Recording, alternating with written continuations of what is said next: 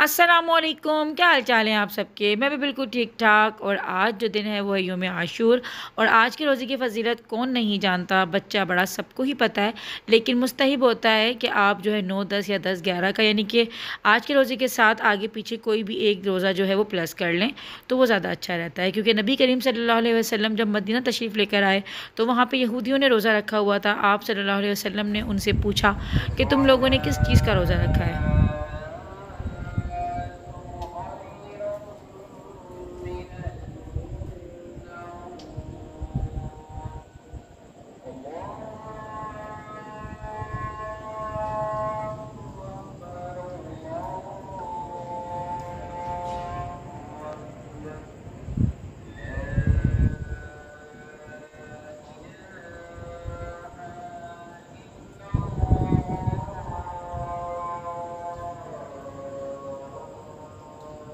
तो यहूदियों ने कहा कि आज के दिन हज़रत मूसा सलाम को कब्तियों से निजात मिली थी तो उसके शुक्राने में हम आज का रोज़ा रखते हैं। तो नबी करीम सल्लल्लाहु अलैहि वसल्लम ने फरमाया कि तुम लोगों से ज़्यादा हमारा हक़ है हज़रत मूसा सलाम पे, इसलिए आने वाले साल में हम एक के बजाय दो रोज़ा रखेंगे।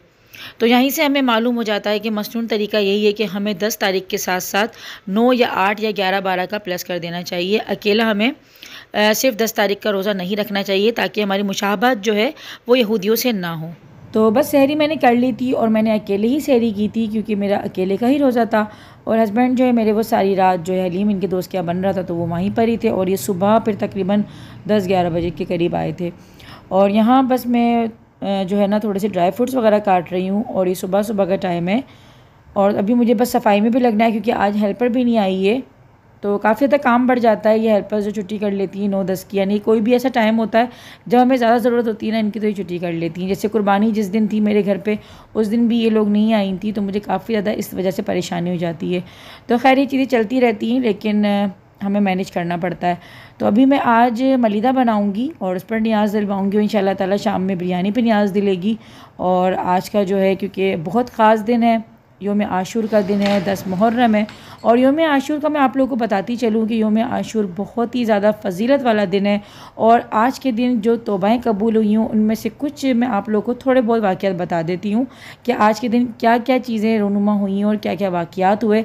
बेशक वाक़ करबला जब से हुआ है तो ये ये वाक़ तो क़्यामत तक जो है हम सब के दिलों में एक छाप जो बैठ जाती है ना, वो बैठ चुकी है इसकी। लेकिन इससे पहले भी वाक़ करबला से पहले भी बहुत सारे ऐसे वाक़ात हुए हैं, जो कि बहुत ही ज़्यादा काबिल एहतराम और उनकी भी अपनी फजीलत है। जैसे कि हज़रत आदम सलाम की तोबा आज के दिन कबूल की गई थी। हज़रत यूनस सलाम को मछली के पेट से आज के दिन रिहाई मिली थी। हज़रत नू सलाम की कश्ती आज के दिन ही जूदी पहाड़ से जाके टिकी थी। और ऐसे बहुत से वाक़ात हैं जैसे कि इसमें से एक वाक़ ये भी है कि हज़रत मूसा सलाम ने आज के दिन समंदर पार किया था और जो फ़िरौन है, वो इबरत का निशान आज के दिन ही बना था और अल्लाह पाक ने उसे आज के दिन ही जो है, गर्क कर दिया था। और उसकी पूरी फ़ौज को जो है डुबा दिया था, उसी समंदर में और हज़रत मूसा सलाम को रिहा कर दिया था और उनको कामयाब कर दिया था। तो आज का दिन समझ लें कि अल्लाह पाक को राज़ी करने का दिन है, अपने रब को आज के दिन ही जो है ना बस मनाने का दिन है, क्योंकि इमाम हुसैन ने अपने आप को अगर शहीद भी करवाया तो वो भी अल्लाह पाक को राज़ी करने के लिए ही किया था। अपने रब को राज़ी ही करने के लिए, अपने पूरे घराने की जो शहादत जो उन्होंने खुशी खुशी जो कबूल करी थी, वो अपने रब को, यानी कि अल्लाह पाक को राज़ी करने के लिए किया था। तो बस अपने रब को राज़ी रखें। हम तो खैर इतनी बड़ी बड़ी कोई कुर्बानियाँ नहीं दे रहे, लेकिन बस इतना तो कर सकते हैं कि अपने लबों पर जो है वो अस्तफ़ार की कसरत कर सकें और जितना हो सके, क्योंकि आपको पता है कि अस्तफ़ार की कसरत से घर में खैर व बरकत, अल्लाह पाक का राज़ी होना एक इतनी सी एक लाइन होती है ना, ये अस्तफ़रल्ला रबी मिनकुल्ली ज़म्मी वो तो बोले बज़ाहिर ये बहुत छोटी सी लाइन है और अभी मैं वॉइस ओवर इसीलिए कर रही हूँ क्योंकि मुसलसल मैं जब ये मलिदा बना रही थी तो मैं मुस्तकिल वर्द कर रही थी तो इसीलिए मैंने आज कोई लाइव जो है ना वॉइस नहीं अपनी रिकॉर्ड करी थी। मैंने कहा कि चलो मैं बाद में वॉइस ओवर कर लूँगी। तो जितना हो सके आज के दिन जो है आप लोग अस्तफ़ार की कसरत करें और दुरुद पाक को जो है अपने लबों पर सजाएँ। अच्छा जी, यहाँ पर देखिए मैंने जो तमाम चीज़ें थी ना, जो बादाम, पिस्ते और ये चीज़ें जो थी, वो मैंने असली घी खालिश असली घी के अंदर रोस्ट कर लिया था और उनको ठंडा करने के लिए रख दिया है एक तरफ़। सारी चीज़ें थी, बादाम पिस्ता था और काजू थे और किशमिश थी।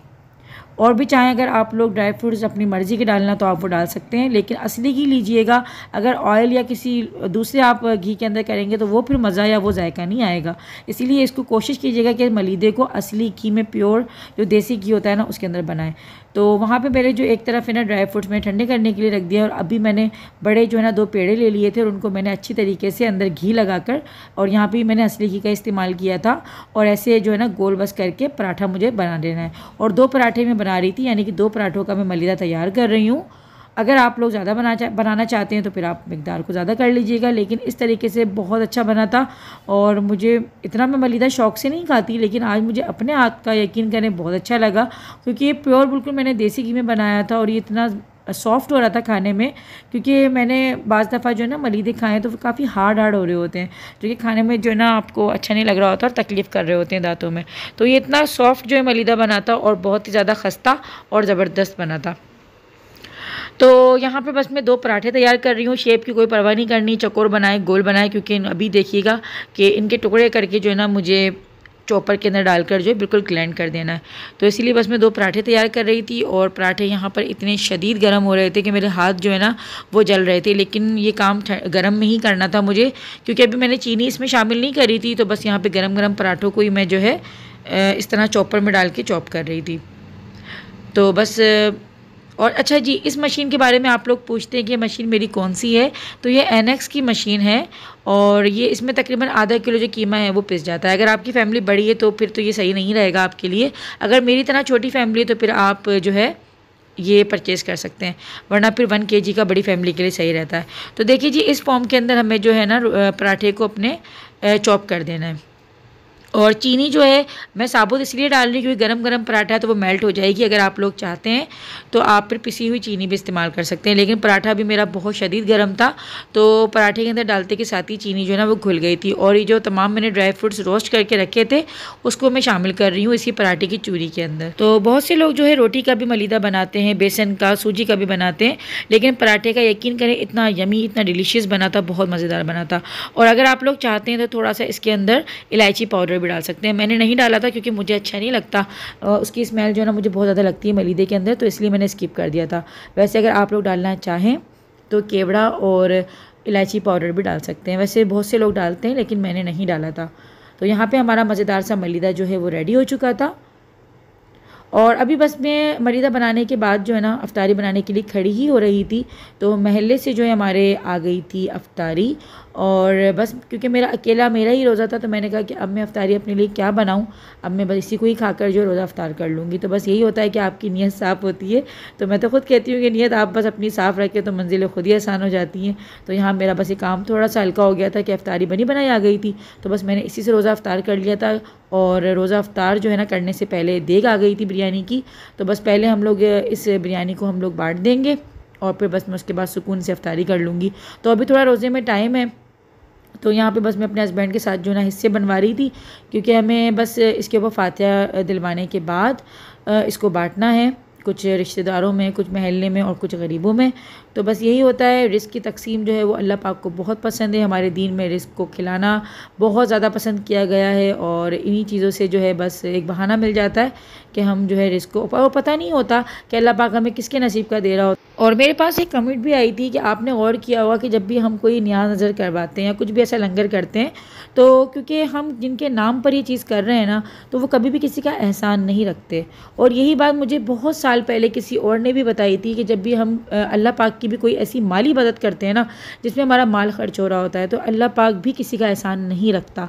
तो हम जब भी कोई ऐसा अमल करते हैं जिसमें हमारी जो है माली इबादत हो रही होती है, क्योंकि एक होती है जिसमानी इबादत, एक होती है माली इबादत तो अल्लाह पाक यकीन करें हमारा कोई भी एहसान अपने ऊपर रखता ही नहीं है, और ये जो हमारा इन माली इबादतों में जितना भी हमारा लग रहा होता है ना, ये डबल क्या ट्रिपल होके में मिल रहा होता है और इतनी रिस्क में बरकत आती है, इतना हमारे पैसों में भी बरकत आती है कि हम खुद इस चीज़ पे हैरान भी हो जाते हैं कि यार हम इतना खर्च करते हैं माशाल्लाह से और ये डबल होकर हमें फिर रिटर्न हो जाता है।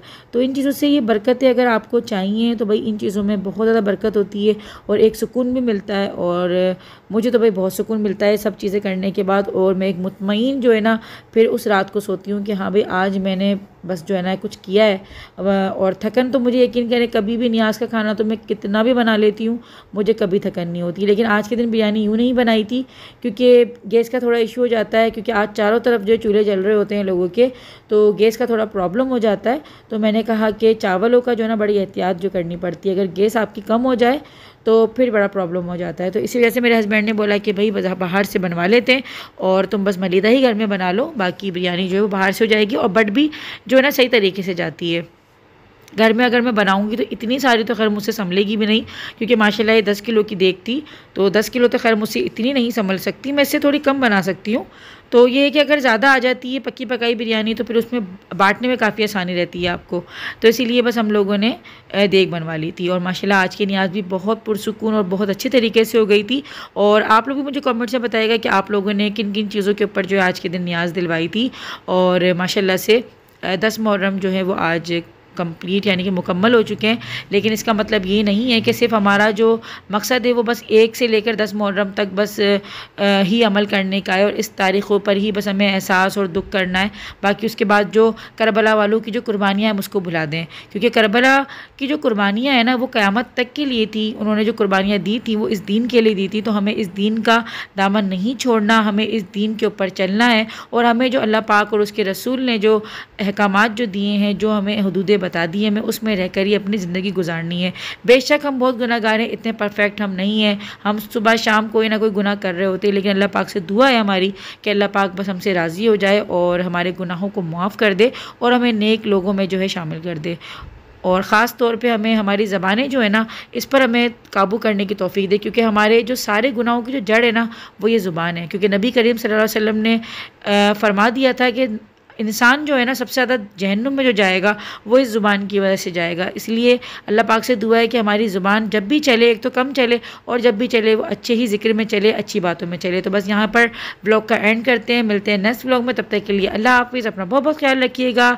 मुझे और मेरी फैमिली को अपनी दुआओं में याद रखिएगा।